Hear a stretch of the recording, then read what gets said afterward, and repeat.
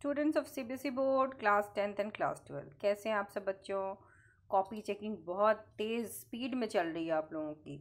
बहुत ही अच्छे तरीके से कॉपी चेकिंग हो रही है। लगभग फिफ्टी परसेंट तो कंप्लीट भी हो गया है। क्लास टेंथ के एग्ज़ाम पहले ही हो गए थे, ट्वेल्थ के भी अब लगभग हो ही गए हैं। बस नाम के एक दो सब्जेक्ट्स बचे हुए हैं, ठीक है? तो कॉपी चेकिंग अच्छी चल रही है। न्यूज़ में कभी कभी आ जाता है ना कि टीचर्स परेशान हो रहे हैं। तो आपको उससे डरने की ज़रूरत नहीं है। क्योंकि देखो, आपने अगर कुछ बच्चे होते हैं देर टाइप्स ऑफ़ स्टूडेंट्स मेरे भी कुछ स्टूडेंट्स हैं जो एक, दो नंबर के क्वेश्चन बहुत बड़ा बड़ा लिख देते हैं और कुछ सिर्फ़ पॉइंट्स लिखते हैं। तो ऐसा होता है, बच्चों का राइटिंग का पैटर्न स्किल अलग अलग होता है। लेकिन ऐसा नहीं है कि जिसने बहुत लिखा उसके नंबर कट जाते हैं या जिसने सिर्फ़ पॉइंट्स लिखे हैं उसके नंबर कट जाएँगे। कटेंगे किसी के नहीं। आपने अगर आंसर लिखा है, ठीक है कीवर्ड्स जो होते हैं ना साइंस वगैरह में सोशल साइंस सब में भी तो पॉइंट्स लिखे होते हैं तो नंबर टीचर ज़रूर देगा। हाँ स्टूडेंट का टीचर एक्सपेक्ट ज़रूर करते हैं कि सीबीएसई की जो मार्किंग वे है, मार्किंग पैटर्न है, आप उसको फॉलो कीजिए, वर्ड लिमिट्स को फॉलो कीजिए। बट अगर वर्ड लिमिट्स का मेन होता है ना, जैसे इंग्लिश है, हिंदी है, सोशल साइंस भी, मेन इंग्लिश, हिंदी वगैरह में होता है ना कि सर आपको पैराग्राफ लिखना है नोटिस लिखना है, इस टाइप की चीज़ों में ना वर्ड लिमिट ज़्यादा काउंट होती हैं। हाँ अब जैसे दूसरे सब्जेक्ट्स में जैसे फाइव मार्क्स का क्वेश्चन है फोर मार्क्स का क्वेश्चन है, अगर उसमें कोई तीन लाइन लिखेगा ना, चार लाइन तो वो थोड़ा सा दिखने में ही आ जाता है कि पता नहीं इसने क्या लिखा है। लेकिन अगर उस चार लाइन में भी आपके कीवर्ड्स हैं तो टीचर विल मेक श्योर कि आपको नंबर मिले तो आप लोग ऐसे न्यूज़ सुन के घबराया, डरा मत कीजिए, ठीक है? और कई बच्चे मैथ्स को लेकर के, कुछ बच्चे टेंथ वाले और ट्वेल्थ वाले फिजिक्स को लेकर, कुछ केमिस्ट्री को लेकर के बहुत डरे होते हैं। तो टॉप फाइव वैलिड है, इस बार भी आप डरिए मत। आपने एडिशनल सब्जेक्ट लिया है तो गुड, नहीं लिया है तो भी डरने की ज़रूरत नहीं है। एडिशनल सब्जेक्ट लिया है तो वो आपके लिए हेल्पफुल हो सकता है दो केसेस में। अगर कोई बच्चा फेल हो रहा है तो उस टाइप के केसेस में तो हो हाँ मेन सब्जेक्ट जो आपके पाँच है ना, उसमें हिंदी और इंग्लिश जो है वो आपका काउंट नहीं होगा। वो आप एक्सचेंज नहीं कर सकते एडिशनल से। उसके अलावा अगर टेंथ में आप हैं तो साइंस, मैथ, सोशल साइंस, इस, इसमें से अगर किसी को किसी सब्जेक्ट में कम नंबर आया है और उसके बदले एडिशनल पेपर में हो सकता है आईटी हो या कोई और सब्जेक्ट हो जिसमें आप बहुत ज़्यादा नंबर लेके आए हैं तो आप टॉप फाइव कैलकुलेट करेंगे अपना परसेंटेज, ठीक है? तो वो ऐसे समय में आपको हेल्प करेगा। हालाँकि अगर जिन बच्चों ने फाइव सब्जेक्ट्स ही लिए हैं, उन्हें भी डरने की ज़रूरत नहीं है। रिज़ल्ट अच्छा ही होगा, अच्छे से मार्किंग हो रही है, टीचर्स आर ट्राइंग हार्ड कि वो आपको पास कर लें। It, it's a very lenient process this time. This time मतलब लास्ट ईयर भी था, ऐसा नहीं था, लेकिन लास्ट ईयर था ना कि टर्म वन टर्म टू दोनों था। तो बच्चों को, बच्चे तो डरे हुए थे ये टीचर्स के लिए भी सब कुछ नया था ना। वेटेज सिस्टम नया था। तो एंड तक हमें भी नहीं पता था कि वेटेज सिस्टम क्या होगा। तो लास्ट में सीबीएसई ने रिवील किया था। तो टीचर्स वर्ड लिमिट को लेकर के न्यूज़ आता रहता है बट न्यूज़ ऐसे ही आते रहते हैं। आपको डरने, घबराने की ज़रूरत नहीं है। सीबीएसई का जो फॉर्मेट है, बहुत ज़्यादा लीनियंसी का, वो चेंज नहीं होने वाला। ठीक है? जस्ट इन केस एक सब्जेक्ट में किसी को कंपार्टमेंट लग ही गया यानी कि मान लो आप टॉप फाइव के बावजूद पास नहीं हो पाए, या टॉप फाइव आपने पाँच ही सब्जेक्ट लिया, हो सकता है कि एक सब्जेक्ट में मिनिमम पासिंग क्राइटेरिया फॉलो ना हो पाए। Maybe you have not return या जो भी लिखा है बिल्कुल ही गलत है। तो इन दैट केस टीचर नहीं अगर पास कर पाए तो आपके लिए कॉम्पार्ट इम्प्रूवमेंट एग्ज़ाम होगा, जो आप दे करके फिर एक महीने में पास हो सकते हैं। एक से ज़्यादा सब्जेक्ट में अगर कंपार्टमेंट आ गया तो फिर आप, यानी कि अगर पास नहीं हो पाए तो रिपीट एग्ज़ाम आपको देना है। पासिंग परसेंटेज थर्टी थ्री है, टेंथ के लिए भी, ट्वेल्थ के लिए भी। टेंथ वालों के लिए मैं फिर से बताना चाहूँगी, कई बच्चे कन्फ्यूज़ हो जाते हैं, मुझे मैसेज बॉक्स में दिखता है कि टेंथ में भी उन्हें लगता है कि थ्योरी और प्रैक्टिकल में अलग से पास होना है। तो मैं बता दूँ, चूँकि टेंथ जो है वो फ़र्स्ट टाइम बोर्ड फेस करता है हाँ इस बार ये हो गया कि ट्वेल्थ वालों का भी फ़र्स्ट टाइम है, लेकिन यूजुअली ऐसा होता नहीं है। यूजुअली टेंथ वाले तो नए बच्चे होते हैं, ट्वेल्थ वालों को एक्सपीरियंस होता है और क्लास भी हाइयर है। उस बेसिस पर टेंथ वालों के लिए लीनियन चेकिंग तो ऑब्वियस सी चीज़ है। थ्योरी और प्रैक्टिकल मिला करके आपको थर्टी थ्री लाना है। अगर हम बात करें ट्वेल्थ की तो देखो प्रैक्टिकल में तो थर्टी थ्री परसेंट से ज़्यादा आपके आएँगे ही, लेकिन थ्योरी अगर सेवेंटी मार्क्स का है तो ट्वेंटी थ्री आपको लाना है पास होने के लिए, ठीक है? बोर्ड का रिज़ल्ट का अगर आप ट्रेंड देखो तो बहुत ही पॉजिटिव ट्रेंड रहा है, ठीक है? हमेशा मतलब ईयर ऑन ईयर परसेंटेज जो पासिंग का है वो बढ़ ही रहा है। न्यूज़ में आया था, मैंने भी आपको बताया था कि टॉपर्स के जो नंबर हैं वो ज़रूर घट रहे हैं। लेकिन अभी तो पूरी कॉपी भी चेक नहीं हुई है ना, जितने चेक हुए हैं उसका स्टैट्स है ये, है ना? स्टैटिस्टिक्स तो सर्टेन डेटा बेसिस पे होता है। अभी पूरी कॉपी चेकिंग तो हुई ही नहीं है तो ये स्टैट्स चेंज भी हो सकता है। तो ऐसा नहीं है कि टॉपर ये हो नहीं सकता कि पूरे थर्टी फाइव लैक्स में सिर्फ़ ट्वेंटी परसेंट ही जो है वो एवरेज टू टॉपर्स की लिस्ट में हो, ऐसा नहीं हो सकता। ऐसा हो ही नहीं सकता कि हमारे बच्चे बिल्कुल ही ना पढ़ रहे हो। हाँ जितनी सैंपल उनको मिली है, उसमें ऐसा रिलेवेंट मान लो पाँच सौ पेपर देख करके एक एवरेज डेटा न्यूज़ में रिलीज़ कर दिया गया। So you don't have to think जो बच्चे अच्छा लिख कर आए हैं, आप मत घबराइए कि आप अटैम्प्ट लेकर आए हैं तो आपके नंबर नहीं आएँगे।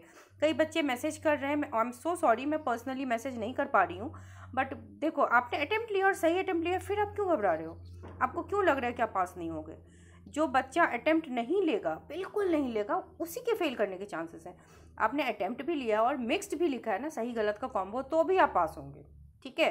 तो इतना डरने घबराने की ज़रूरत नहीं है। नाउ आपको मैंने हर वीडियो में लगभग ये बताया कि सी बी एस ई चूँकि देखो पैंडमिक के बाद का पहला साल है तो लीनियंसी इस वजह से भी बनती है। इसके अलावा मॉडरेशन पॉलिसी आपने देखा, कुछ सेट्स डिफ़िकल्ट एक्चुअली में थे। तो वहाँ आपको डरने की ज़रूरत नहीं है कि भाई हमारे दोस्त का सेट ईजी आ गया तो उसके नंबर ज़्यादा आ जाएँगे, मेरे तो कम आएँगे। और माँ बाप हों या पेरेंट दोस्त हों या रिश्तेदार हों, वो नहीं समझेंगे ना इस चीज़ को, वो तो समझेंगे कि आप एक्सक्यूज़ ले रहे हो कि हाँ नंबर कम आ गए तो ऐसा बोल रहा है। बट ऐसी बात नहीं है। सीबीएसई जो है वो मॉडरेशन पॉलिसी ऑफिशियली अनाउंस कर चुकी है। साइट पे मैंशनड है, आप साइट चेक करोगे तो आपको दिखेगा कि डिस्पैरिटी नहीं होने देगा सीबीएसई ठीक है? आपने अगर किसी क्वेश्चन के, मान लो कुछ स्टेप्स आते थे, लिख दिए हैं तो ऐसा नहीं है कि आपको उस स्टेप के नंबर नहीं मिलेंगे स्टेप के नंबर भी मिलेंगे। अटेम्प्ट तो हमने बोला ही था आपको कि ले करके आना है, आपको आता हो तो बढ़िया नहीं आते तो भी क्वेश्चन से जो भी रेलेवेंट इन्फॉर्मेशन है वो निकाल करके लिख दो। बहुत से बच्चों ने अटैम्प्ट लिया है, कुछ बच्चे हैं जिन्होंने नहीं लिया है। तो अब अगर आपने बिल्कुल भी अटैम्प्ट नहीं लिया तो फिर आपको पता है कि आपको उस पेपर में इम्प्रूवमेंट एग्ज़ाम देना है। तो बी प्रिपेयर्ड फॉर दैट ये कोई बड़ी चीज़ नहीं है, आप पास कर जाओगे, थोड़ा सा पढ़ लो और अगर आप पाँच छः नंबर के भी गैप में चल रहे हैं, मान लो। तो टी, आपने जो ये अटैम्प्ट लिए होते हैं ना, वहाँ पर टीचर थोड़ा सा लीनियंट मार्किंग करके आपको पास कर देता है।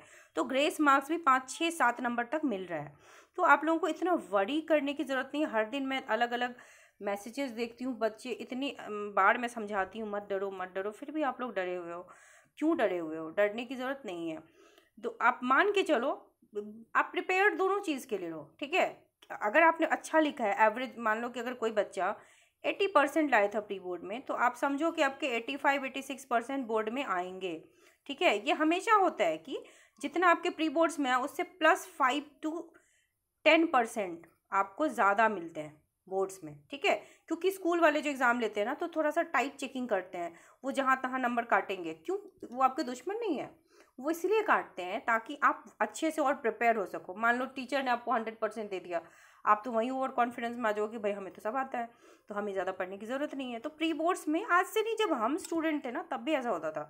सो so, और ये प्रोसेस चलता है जब हम थे तो हम भी आप ही की तरह डरते थे।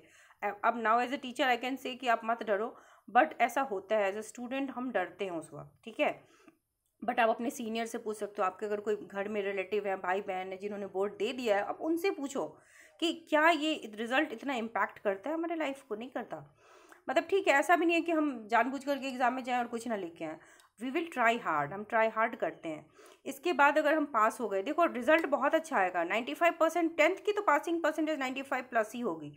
ट्वेल्थ में थोड़ी टाइट चेकिंग होती है तो ninety one ninety two percent फिर भी जाएगा। ठीक है? लेकिन अगर मान लो कुछ बच्चे नहीं पास कर पाए तो इतनी कोई बड़ी बात नहीं है। इट इज़ नॉट समथिंग जो आपको जज कर सकता है। रिज़ल्ट कभी आपको जज नहीं कर सकता, ठीक है? आप में बहुत टैलेंट हो सकता है डिफरेंट। ज़रूरी नहीं है कि ये जो आपने जो सब्जेक्ट्स लिए, हो सकता है कि आपको दूसरे सब्जेक्ट्स में ज़्यादा नॉलेज हो या ज़्यादा इंटरेस्ट हो। तो अपने ऐसी इंटरेस्ट को फाइंड आउट कीजिए कि आप क्या लाइफ में आगे कर सकते हैं। पैशन क्या है, क्या कर सकते हो? अब अब वो ज़माना बीत गया जब सब डॉक्टर या इंजीनियर ही बनते थे। अब बहुत सी वेरिएशंस आ गई हैं करियर में, ठीक है?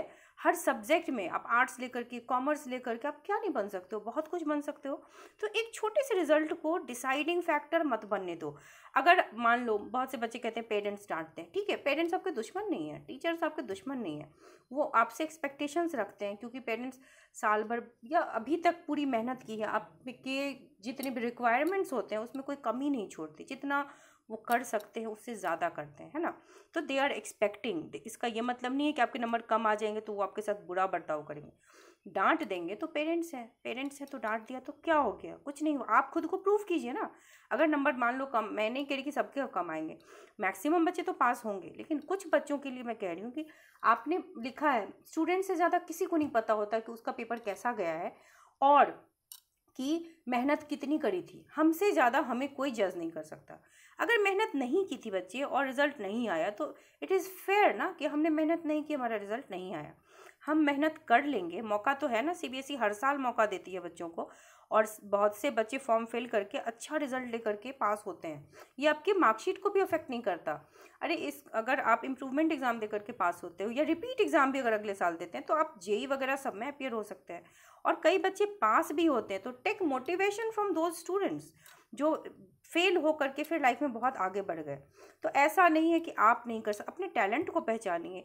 ये दुखी होना, पैनिक करना, डरना, ये छोड़िए।